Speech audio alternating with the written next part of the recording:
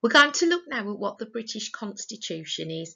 The British Constitution basically means how is the way Britain is run put together. So we're going to have a look at all the bits that comprise it. To start with, have a look at the pictures on the board. You've got these in your booklets. What do you think they might represent? So we've got the Crown, which is obviously the fact we've got a monarchy. We've got Boris Johnson, who's obviously the Prime Minister a legal system, and then this isn't anything to do with putting your plates away. This is a cabinet, and in our government, we have what's known as the cabinet, who are the top 20 ministers. So they're people who are given really high roles, such as being in charge of education, so the Minister for Education, the Minister for Transport, the Minister for Health, and so on. So the different factors that make up the British Constitution, we've got the Prime Minister and the Cabinet, like we've just said. All the others we're going to go through and look what they mean. You do need to be aware of what they are and what they're there for. On the next slide, there are three party manifestos. You're going to decide which party you would vote for and why. So we've got Party A, they're going to spend more money on the NHS, increase tax on cars and put money in small businesses. Party B, increase the voting age to 19, increase money for sports in schools and money for the armed forces.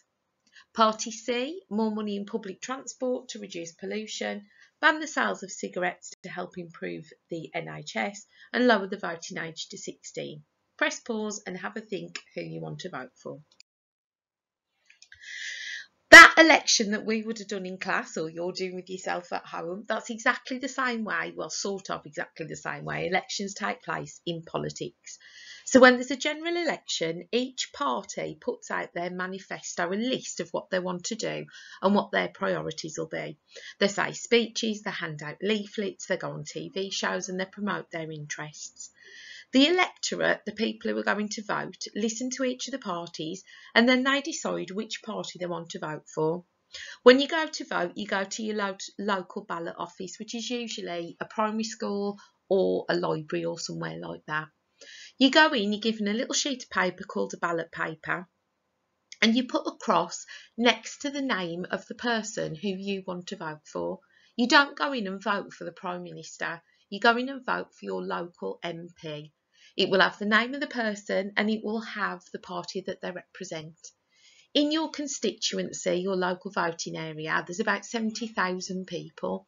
All the votes are then counted up and the person that's got the most amount of votes becomes your MP, who represents everybody in their constituency, even if you didn't vote for them.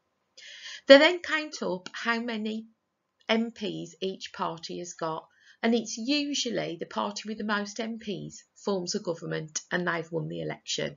The leader of that party becomes the Prime Minister.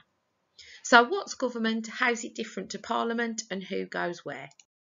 So government is just the executive, the people who run the country. They're the party in control. Parliament is much, much more. So in Parliament there are three aspects. You've got the House of Commons, that's the one you see on the news all the time where they're always arguing, the one with the green chairs. That's where the MPs go and they debate how to run the country. They make laws and things like that. They're the most powerful of the three of the two houses because they're the ones that were voted in. The second house is the House of Lords. They're not elected. These are people who are there just to check up on the government and make sure that it's all running smoothly. They do investigate different areas of interest of, to the public. They are there because most of them are experts in one role or another. It used to be you only became a lord if your dad was a lord and his dad was a lord, going back to the days of Lord of the Manor and having the servants running round after them.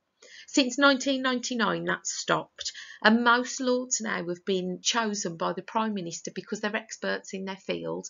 People like Alan Sugar of The Apprentice, he was chosen by then Prime Minister Tony Blair. The last part of Parliament is the monarch, the King or Queen.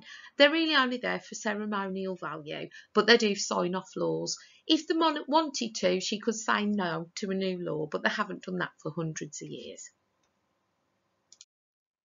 So government is a group of people who direct the way in which the country run. Parliament again, two bits. We live in a democratic country, so we've all got a say in how the country's run. We elect our MPs who represent our views. They're the ones with the greatest power. Then we've got the House of Lords, and then we've got the Queen. This is a picture of the House of Commons, and as you can see, you've got all the different people standing round. There's actually only space for 437 MPs and 650. So you either have to squish in really, really close, or you don't get a say in some debates. That's then got problems for democracy. So again, the three main parts of Parliament, make sure you know them and who goes where. Okay, so if we have a look at this then, we've got the Speaker at the top. He's kind of like the Jeremy Kyle of Parliament, of the House of Commons. He's the one who has to say, order, order, and get them to be quiet if they're arguing too much. We've then got the government at the front here. The Prime Minister will sit um, towards the front in the middle, and then the ministers who are in the cabinet are all along the front bench. The other MPs in the government are at the back. On the opposite side, you've got the opposition, and this is the party who are the biggest opposition to the government. So at the moment, Conservatives are in government, Labour are the opposition. Then you've got the other opposition parties, um, and they'll be fitting where they can. So what is the role of Parliament? What's it there to do? What's Parliament's jobs? The first thing is to hold the government to account. They've got to check what the government are doing. It can't be like Nazi Germany was, where Adolf Hitler got rid of the other parties and just made his own decisions up. Parliament is there as like a security blanket to check up on the government, to make sure they're not making stupid decisions. The other thing they do is make and amend the law. Parliament's called the legislator, and that means that they're the ones who draw up the laws and process them.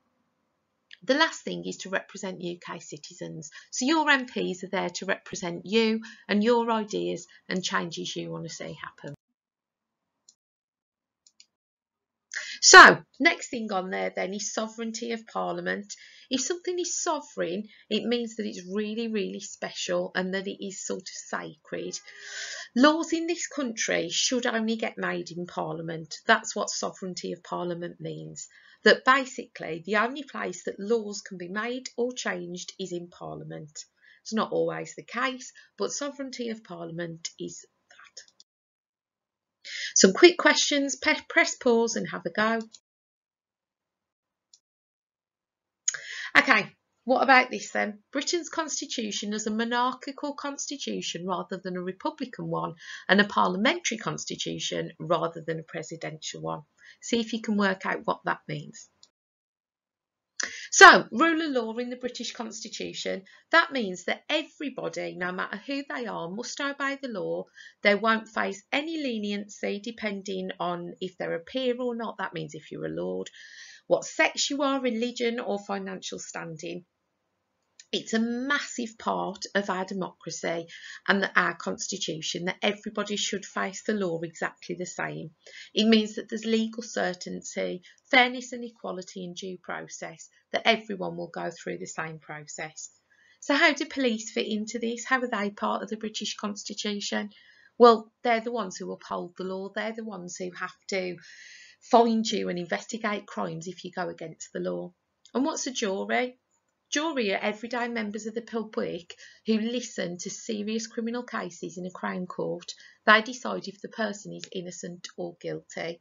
It's really important again to our democracy because they're everyday people who are making decisions. It's not all coming from above, it's everyday people being part of our society. The civil service. The civil service are basically people who run they do the day-to-day running of the country. So they do the jobs that the government needs doing. So they're things like people who work out your benefits and your pensions. They're unemployment services and prisons. They're the people who sort your driving licence out and your passport. They also look at policy development. So, for example, all this stuff with coronavirus, they're the ones who are trying to do the day to day running of sorting out testing and all the different laws that go along with it. They have to be politically impartial. So they're not allowed to be politically biased because that would mean that they would favour certain policies. They also have to have anonymity. Their names are never put on any policies because obviously if somebody didn't like it, they could go and find them. They also have permanence, which means even if the current government are voted out, they don't lose their jobs, they carry on. Question for you on the board? And there are your answers.